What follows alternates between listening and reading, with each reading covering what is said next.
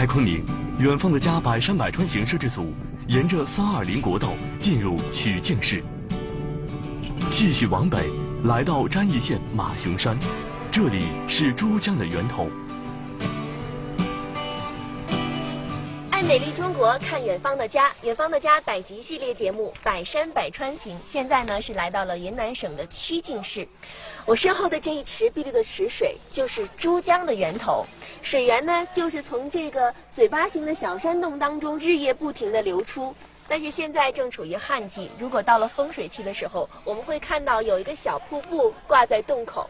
这里呢，就是位于曲靖市沾益县的马熊山上，海拔有两千多米。我们国家的长度第三大江珠江，就是从这儿发源，跨越两千多米的落差，日夜不停地奔向南海。那我们的行程就从这里出发。浩浩珠江，就源自这个看起来并不大的天然溶洞。因为溶洞所在的马熊山高不过两千多米。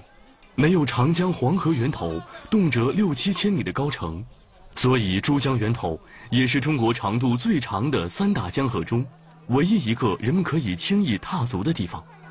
那我和郝老师呢，现在是已经走到了这个珠江源洞口的边上了，能往里大概能看到里面的一个情况，但是看的距离不长。好像是里面这个溶洞吧，是吧？溶洞情况很复杂，然后有很小的一池水，里面会有这些坑坑洼洼的水，但是看不到从哪里流出来。哦，这这个洞是这样，它有七百五十米长，那么这个地形呢，这个是石灰岩地形，也叫喀斯特地貌。呃，这个水呢，就是穿越水洞，呃，但是人走没走通，啊，人可以进去三百多米。在一九八七年。珠江源的溶洞里发现了人类化石，证实了这里一万年前就有古人类活动，而且时至今日，珠江源地区依然是山清水秀、气候宜人，是个非常适合人类居住的地方。哦，这我就是出生在珠江源头的，呃，这个一个小山村。这一带呢，就是我小时候光着脚丫子放牛放羊的地方。那么这个水洞，哎，小的这个是是。这时候呢，这个水洞就无数次的进去玩。那个时候，这个洞里边有那个蝙蝠啊，哎，进到洞里边去抓蝙蝠，啊，然后出来以后呢，这个小溪里边还有小鱼，啊，在在这个光着屁股在这个水水塘这个呃抓鱼，啊，那个时候口渴了，就是这个源头的水，用这个手黑乎乎的，哎，捧一捧就喝水，啊，这是就是这样一个地方。喜欢研究历史的郝老师告诉我们。在这里还曾经有一些苗族村寨，从一九九六年开始，因为交通不便、环境闭塞，一共有十一户人家，五十多人从大山深处搬了出来。这个村子看起来其实很小，我觉得就是一数就数出来了，有有几户。郝老师带我们来到了距离最近的一个村寨长麦地村，大部分搬迁出来的人家都住在这里。啊，一般他比较好客，你人呢有客人进村。啊，一般他就是采采取这个意识。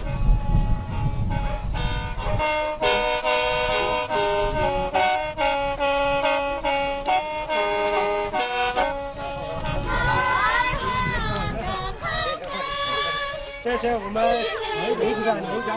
他们属于苗族中的大花苗。让我们惊讶的是，欢迎我们的除了苗家传统的芦笙、美酒，还有一支他们自己的合唱团。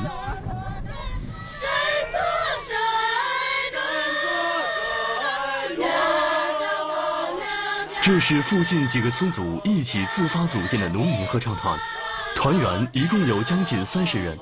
不过现在有很多男团员已经外出打工。他们的歌声不但婉转动听，而且还分出男女声，配合默契，听起来相当的专业。这除了因为有一副好嗓子，也许就是靠着他们基因中传承着的对音乐的热爱。在扎拉扎里扎。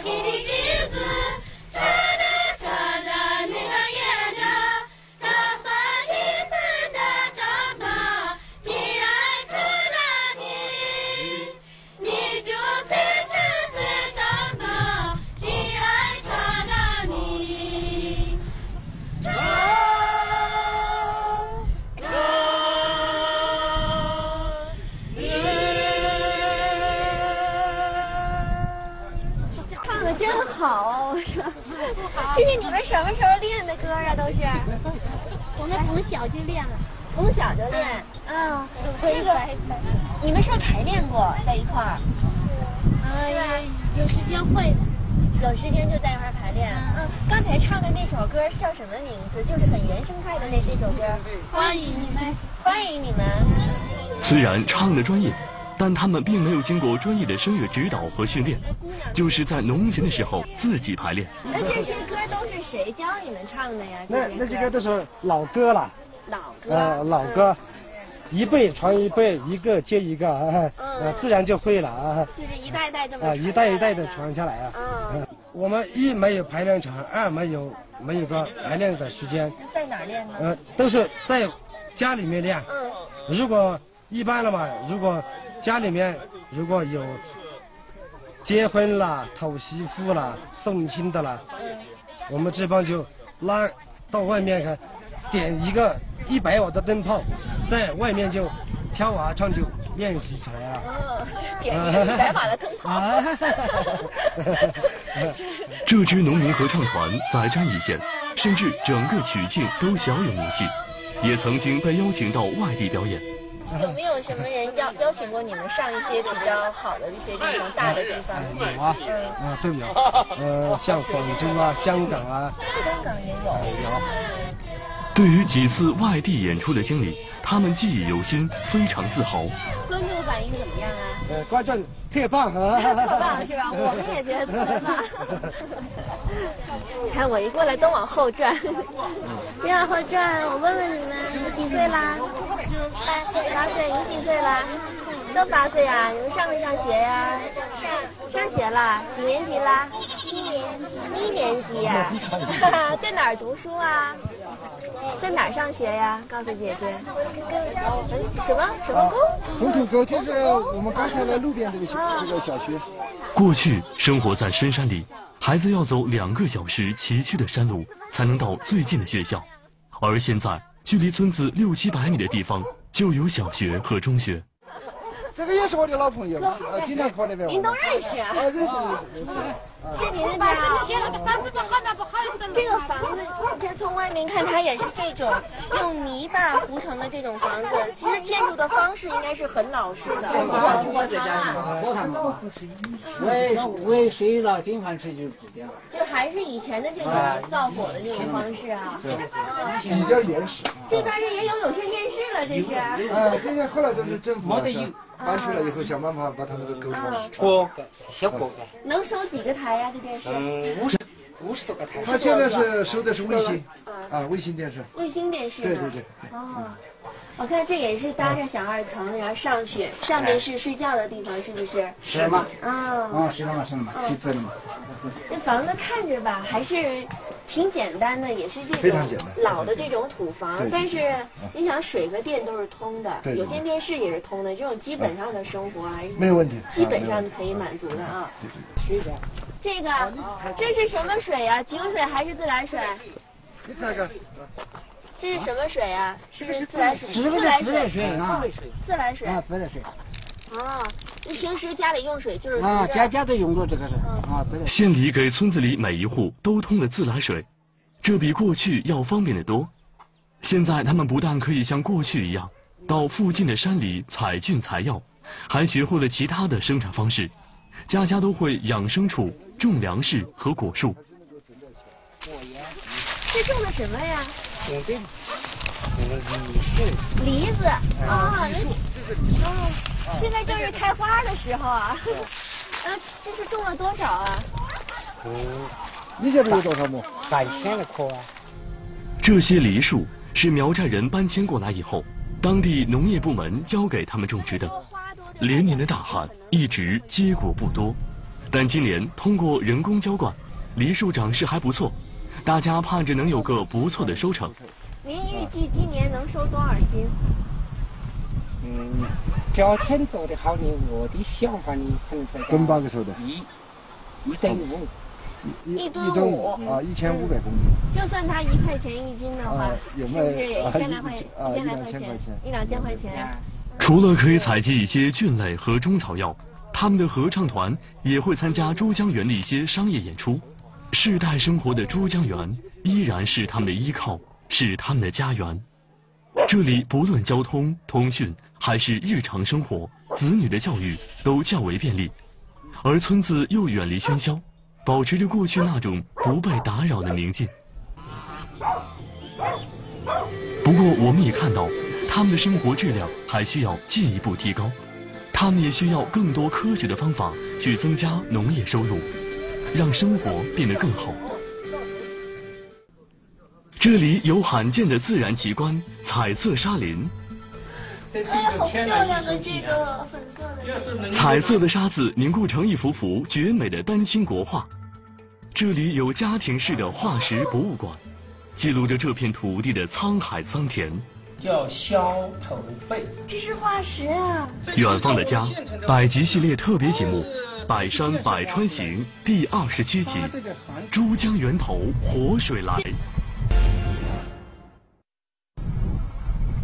从珠江源头开始，一条河就缓缓地流淌出来，它就是南盘江。它由沾益流出，往南从云南的第二大城市曲靖的市区东面流过。我们摄制组也顺着南盘江一路向南。眼前的这条珠江的正源，现在还只是一条水量不大的小河。公路边的这一条河呢，就是南盘江，这里是珠江的正源，也是整个南盘江的上游段。南盘江自古以来呢，都是云贵通往两广的一个重要的水上要道。但是现在我们看来，这里的水位已经很低了。一方面呢，这是由于，嗯，现在正处于这个枯水期的季节；而另外一方面，也是因为云南连年的大旱，使得这个水位不断的降低。即便是这样，我们现在看到的这一段河段还属于水量比较丰沛的地段，甚至还有一些河段的水位会比这里还要低，河中的石头甚至都会裸露出来。待会儿呢，我们将顺着这条公路继续向南盘江的下游，也就是向南行驶，就会进入到陆良的境内。云南连续四年大旱，陆良县是旱情比较严重的县区之一。我们一路虽然还能看到一片片绿油油的农田，但是干旱还是显而易见的。走到南盘江的这一段呢，我们就能看到这里的水位就更低了，而且从江面上的情况来看，像这样的现象应该已经持续了很长时间。在水中呢，有村民们放养的鸭子，而在岸边也有他们种的庄稼。这么干旱的土地，看起来这些庄稼的长势也不是很好。不过这一条江真的是两岸人民生活的母亲河，也是他们重要的水源。来说说我们的行程吧。我们现在呢已经进入到了陆良县了。我们要去的第一站是一个非常罕见的自然奇观，那儿叫彩色沙林，那里也没有水，甚至可能会更干燥。不过那个地方是一个梦幻世界。我们来到陆良县，先赶到了赵夸镇，彩色沙林就在这里。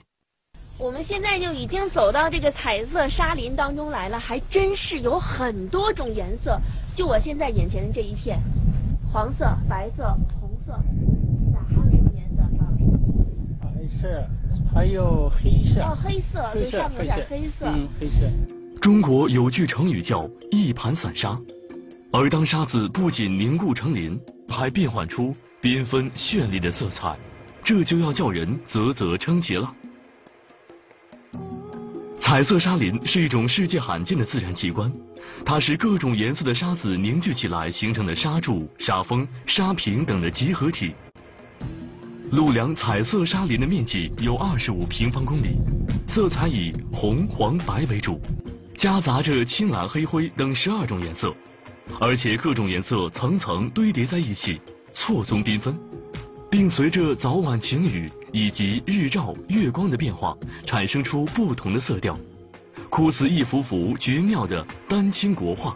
还有我们现在的光的强弱，光照射的强弱，我们这个沙林里头的含的水分的多少。都会影响它的色彩。你现在看到它是这样一个色彩，到再晚一点，光又弱一点的时候，你来看的色彩，它又会产生一个变化。不但不同高度、不同时间和光线的沙层颜色各异，沙体里外的颜色也不一样。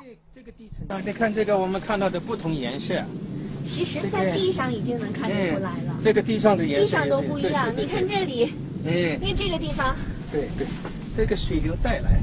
带来以后，在水流往这里下的时候，就给这个这个地方的地层的表面附着上了一层外来的泥土或者是矿物质吧。所以它形成里面是黄色，然后外面是红色。这是它本来的颜色。嗯，这个红色其实仔细看它很很薄，说明它很年轻。但是黄色的部分呢就很古老，是很多年前形成的。嗯，所以这样看，你看左右。不一样，这里就是我喜欢的那种渐变色，然后里外也不一样，因为这个水的这个搬运作用，让里外的颜色也发生色差的变化了。对对对。也正是因为沙林能形成相对坚硬的外壳，所以可以像蚂蚁在沙堆里挖巢穴一样，在沙林中凿出一条山洞来，里面也同样是五彩斑斓。那个氧化铁啊，哦，这里好像越来越明显，对，它很淡，一个角度。一个角度这样斜，要往上这样走。我看这个丝带要走到什么地方？到 前面，然后打了一个圈儿在那个门口。我们挖洞的时候，把它两边呃分作两面了。实际这面也是对称的，也有一条，也是在这儿呢，这个粉红色的，这都是天然的吗？没有怎么处理吗？都是天然的。哇，哎，这是大自然的杰作。这是大自然的涂鸦。杰作。这是一种天然的这个粉。走在这个彩色世界。甚至无法相信眼前的一切，真的是细细的沙子形成的。直到我们真正的踏在松软的沙子上面，因为天气干燥以及风化等原因，一些沙柱、沙峰坚固的外壳坍塌，露出了松软的细沙。这个沙真的好软，要不牵着吗？你看这个沙真的好软，踩一下，就全塌下来了。谢谢谢谢。哎呦，这个可能就是含铁量比较高一点的。如果有水的话，有水的话，它这个凝固啊就比较牢固了。哦，这个是真正，我过来一下，这是真正的胭胭脂色呀，在这里。因为它现在比较干燥，所以呢它就疏松了。嗯。如果有水呢，它就凝固。它这个硅脂凝固起来的比较牢固。嗯。这个铁质的呢，它就容易风化了。哦，颜色不同，它的质地就不同，它的凝固度也不同，质地也不同。彩色沙林约形成于三亿年前，是地球表面亿万年变迁的结果。这里曾经是一个湖泊区，多种颜色的沙层是由湖潮、河流的搬运、地层的升降运动、季节性的干燥气候和特有的矿物成分等多种因素综合形成，这也决定了彩色沙林的独特性。这黄色、白色。粉红色，嗯，对不对？这是铁矿的氧化铁，氧化铁这个也是含氧化铁。这个地方很集中啊，集中形容在这这里。对，往上看有特别漂亮的粉红色，嗯，上面还有黑色，然后下面还有这些红色和黄色。彩色沙林的沙子以石英砂为主，含有四十八种矿物元素。沙子出现不同的颜色，就是因为含有不同的矿物质。试一下这个沙子，我想捧它一下。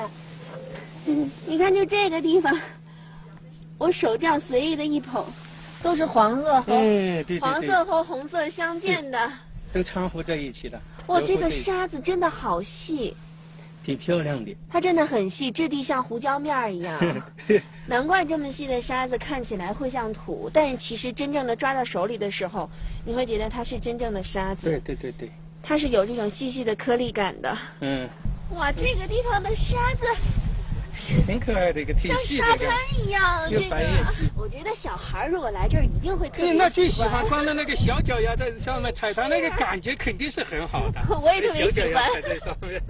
彩色沙林在一九八七年开始保护性的开发，现在已经是一个国家四 A 级旅游区，门票价格五十元，全年对游人开放。离开梦幻的彩色沙林，赵老师邀请我们到位于陆良县城的家里去看看。我们现在呢，又跟着赵老师来到了赵老师的家，因为我们听说在赵老师的家里有好多宝贝，是吧？哎，对对对。而且当地的朋友也跟我们说，如果想了解陆良这个地方的地质变化，就一定要到赵老师家来看一看。所以我们来看看到底赵老师家有什么宝贝。赵老师家里的宝贝，就是除彩色沙林之外的。陆良的另一种地质瑰宝化石，这个我们看的它像笔杆，所以呢，有的叫它笔杆珊瑚。嗯，嗯，这一种这叫分巢，分的巢穴，它像分的巢穴，从形态上就区别出来了。哎，分巢珊瑚。赵老师收集的化石堆满家里的各个角落，它们以海洋生物化石为主，其中不但有各种各样的珊瑚化石，还有一些珍奇的贝类化石。这是罗氏化石，这是化石啊！这个就在我们县城的附近了，这是城市建设挖出来的。它这个含铁量比较高，它吸收了一些铁矿的成分在里头，所以它变红了。哎，对，它带红色，它是含铁量比较高的。但是你看这个螺丝的化石，它的形态非常非常的完整。哎，对，完整，它的原始形态没有什么破损，它的原始形态几乎都还在保留着原始形态。赵老师家的两层小楼。已经成为一个名副其实的化石楼，简直可以创办一个化石博物馆。它叫气石。这些化石几乎都是在陆良境内发现和收集的，化石种类共有三十多种，总重量超过三十吨。这是在贝类化石当中，也是我们陆良当中比较有代表性的。这个贝好大呀！这个嘴巴也叫喙巴，嗯，它像削雕削的嘴巴，嗯，所以因为它的形状。来起名叫削头贝，削头贝。嗯，左边一个口号的号，右边一个鸟字，或者说上边一个鸟字，下边一个木头的木。赵老师的老伴儿出门不在家，但老伴儿非常支持他。他们希望以后能开一个化石博物馆，让大家免费参观，了解珠江源地区地质变化的历史。后面的像孔雀屏啊。赵老师告诉我们，陆良地区大约在四亿多年前是一片海洋。这些海洋生物的化石，就是陆良沧海变桑田的有力佐证。而如今的陆良，则变成了云贵高原最大的一块平坝，南盘江从这片古老的土地缓缓流过，这里土壤肥沃，灌溉便利，是云南重要的桑蚕养殖基地。不过连年的大旱，让这里有些变了模样。深入村寨。亲历云南旱情，拿扁担和桶过来挑水。感受小山村里缺水的艰难，倾听他们饮水的渴望。我们个水引上来呢，就是可以是个祖祖辈辈都可以受益，都有水用。远方的家百集系列特别节目《百山百川行》第二十七集：珠江源头活水来。我们来到了当地唯一的农业灌溉水库青山水库，难以置信，曾经灌溉万亩良田、碧波荡漾的水库，居然没有一滴水，变成了一副千沟万壑的模样。哎呦，看看我脚下的这些土地，它们现在已经干涸成了这个样子，可想而知，这个地方旱情应该已经有很长的时间了。而这一片土地，其实它不是普普通通的耕地。我们往那边看，其实这里呢，原本应该是陆良县的青山水库，但是现在这个水库的土地已经变成了我脚下的这个样子，都有深深的这种干裂的沟痕。你看看这里的土，别说是蓄水，就算是用作普通的耕地，应该都没有可能。水库都已经变成这个样子了，我不知道当地人生活会遇到多大的困难，不知道他们怎样面对现在的这种情况。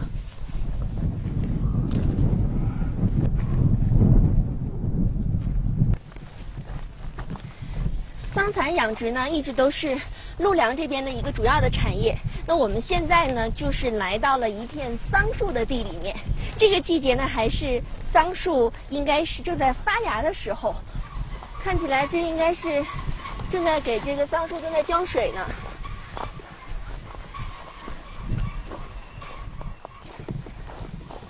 老先生你好。好好好。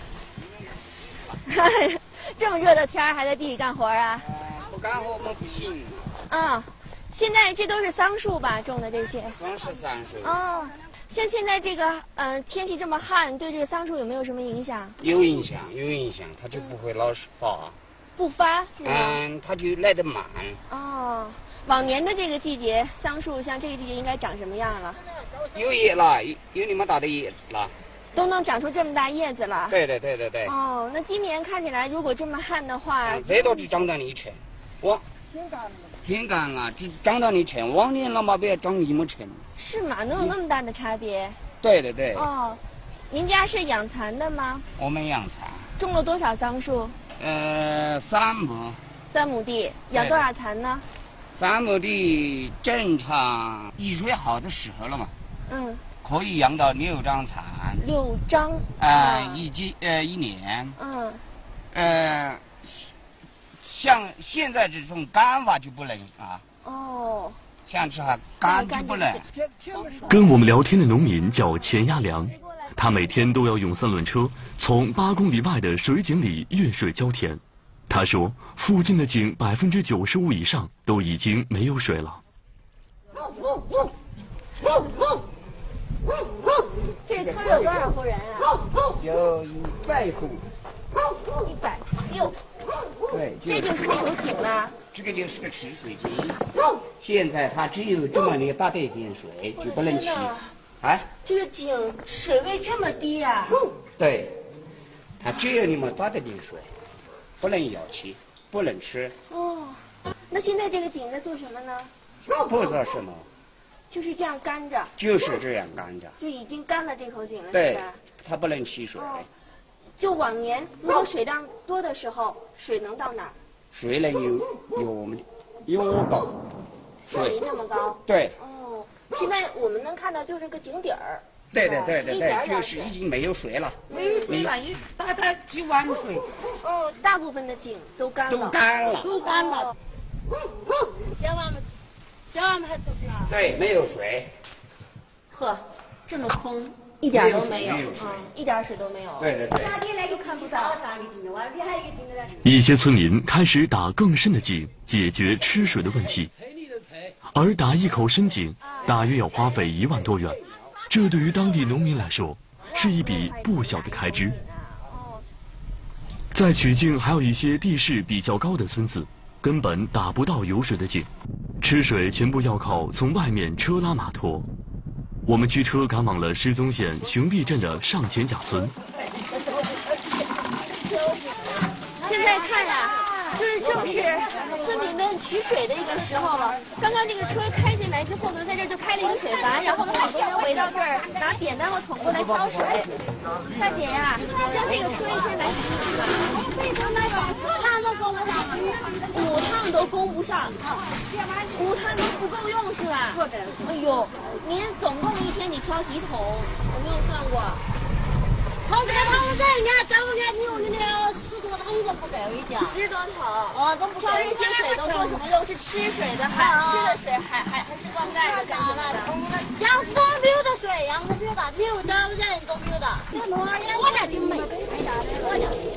哎，我看这个水质，其实不是那种非常非常清澈的水质，是稍稍有一点点浑浊的。上前甲村就建在山腰上，海拔大约两千一百米。因为海拔偏高，再加上连续四年大旱，缺水情况非常严重。这些水是村委会从五公里外山脚下的一处水源地运上来的。每天运水车都要往返四到五次，勉强能够满足全村两百多户的用水。像您家得拉多少桶啊？一天我们一天干啊，我们一天我要四条水，四五挑，嗯，四五挑就是牛要吃，猪也要吃，人也要吃，就像都都是靠这个水是吧？啊，是吧？到这拉的来呢。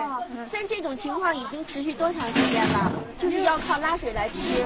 有可能有三个月了，给。刚才那个。这位大姐告诉我说，这个地方就从这儿进去，应该是他们村的一个水窖，有两个，一个小的，我看就是这个应该，然后下面还有一个大的。哟，这个小的水窖，其实也不大，但是完全干了。从这边走下来呢，本来应该是一个大的水窖，你看，就会有一些放水口啊。原本我想水位应该会到大概这个地方，但是现在也就剩一个水底儿了。在接水的人群中，我们发现了一位老奶奶，她自己挑着两大桶水，而且她还裹着小脚。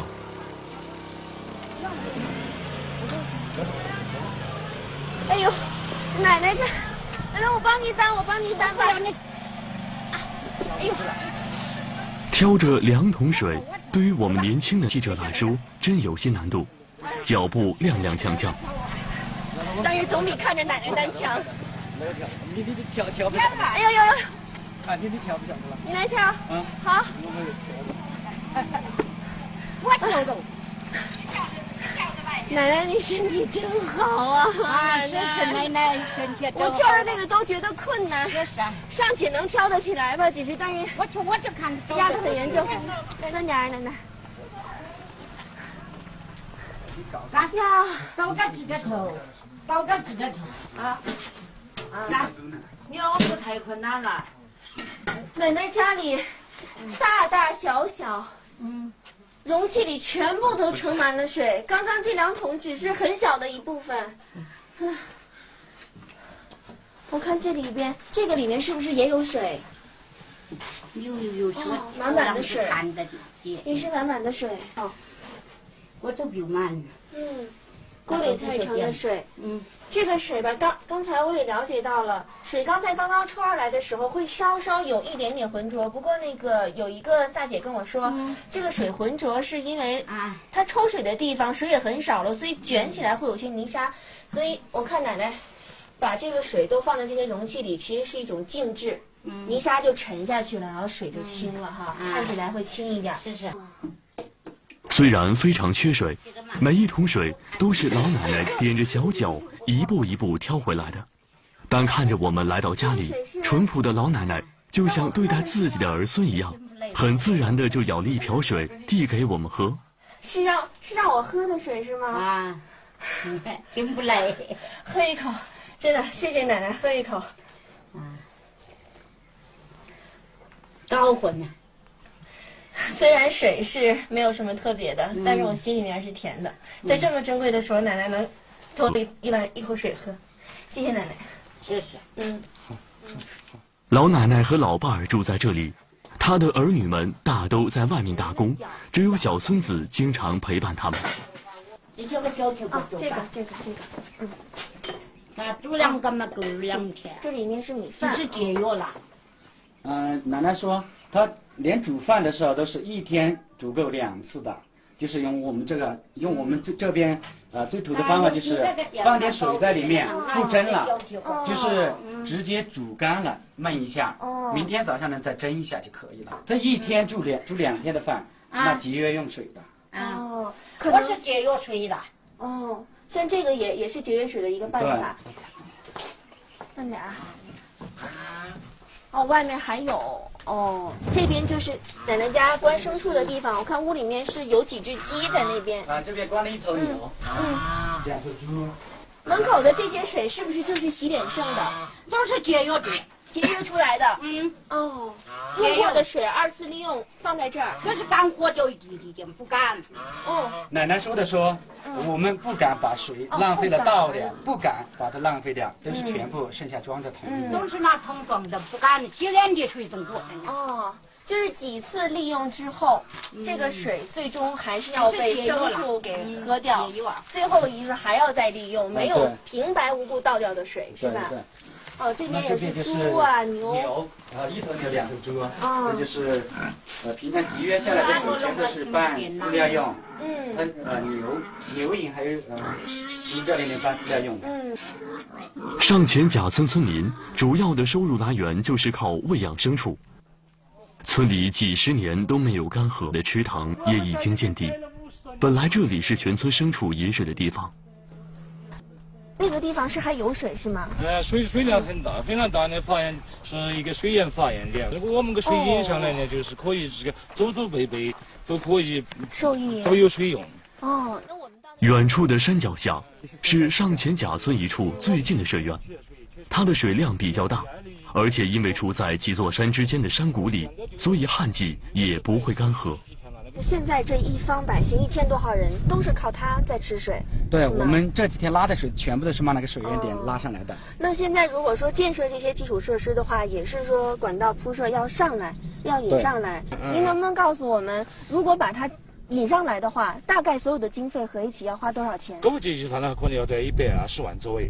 一百二十多万，嗯嗯哦，人吃水的问题，一千三左右，一千三左右，嗯，这个四百来头那个大水大圣秀，嗯，中的大概有个六百来头，羊有两百只，嗯，水源最好的就是。其实连年大旱，在曲靖，在云南，像上前甲村这样的村子不在少数，甚至有一些地方缺水现象更加严重。不过在各方面的努力下，我们相信，问题一定会得到逐步的解决。我们也希望上前甲村的缺水问题能够得到有关方面和社会各界的帮助。最大的心愿就是好好读书，只想做个老师。我的心愿也是想读想读个大学，想当一名律师。最想上的舞台，哎呀，怎么说呢？嗯，最想上的舞台了嘛，还是。最高级的舞台都是最棒的，但是我们在这里呢说真心的话，也怕上不了了。怎么上不了？能上得了？太太土了。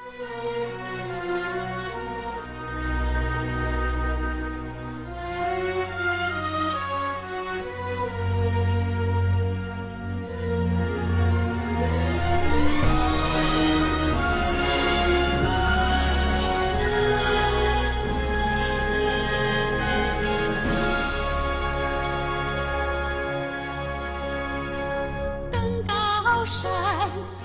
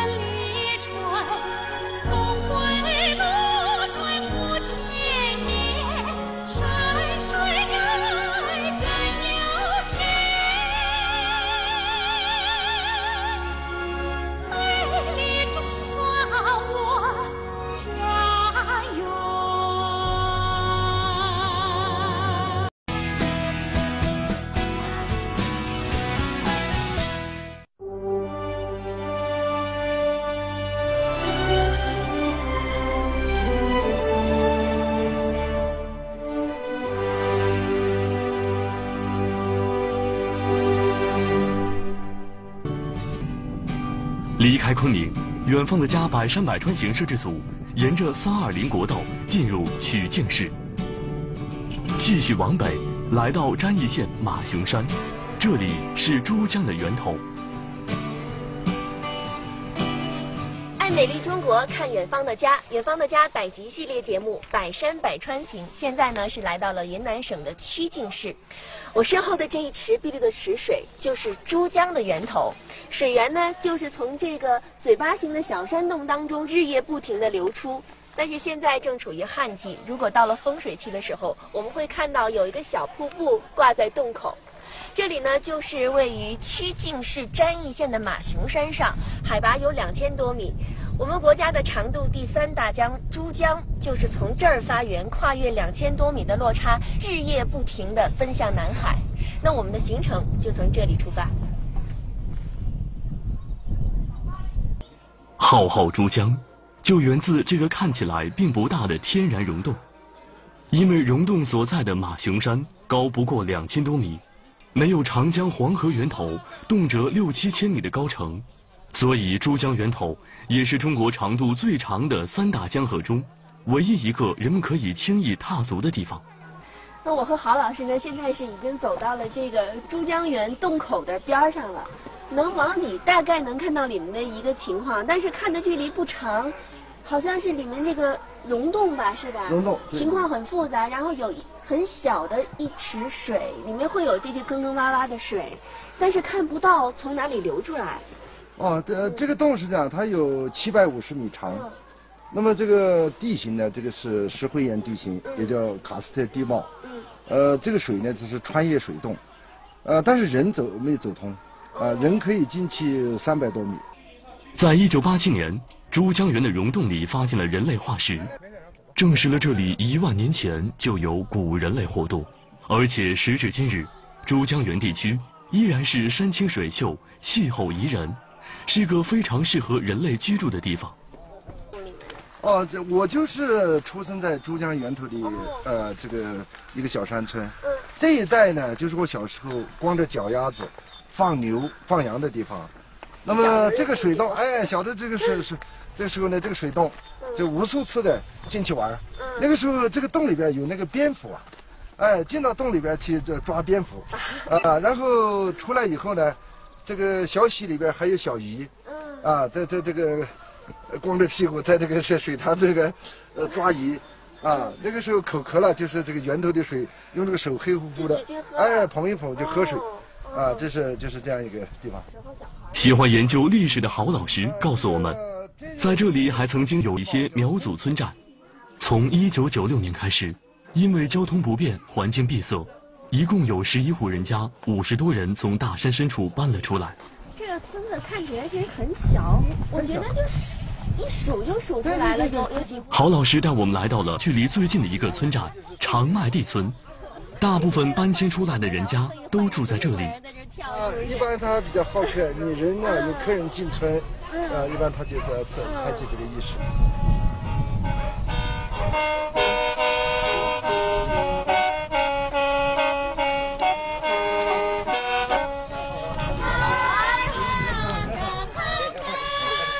这是我们他们属于苗族中的大花苗。让我们惊讶的是。欢迎我们的除了苗家传统的芦笙美酒，还有一支他们自己的合唱团。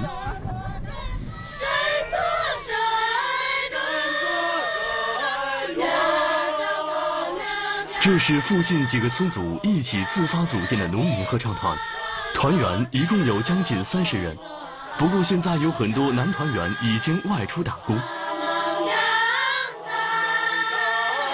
他们的歌声不但婉转动听，而且还分出男女声，配合默契，听起来相当的专业。